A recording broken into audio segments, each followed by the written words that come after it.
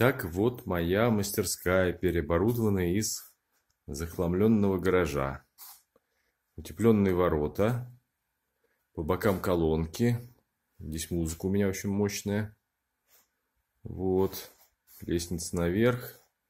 Два окошка, которые я летом установил, их не было.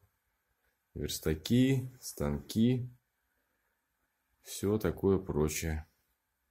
На воротах даже я купил себе телевизор с подключением к интернету. И он у меня, не слезая с ворот, позволяет их полностью открывать и закрывать. Может продолжать показывать. Сделал здесь отопление. Вот такие хорошие батареи. Мощнецкие. Три штуки. И пол зашил фанерой. Потому что он жутко холодный здесь был. Теперь нет.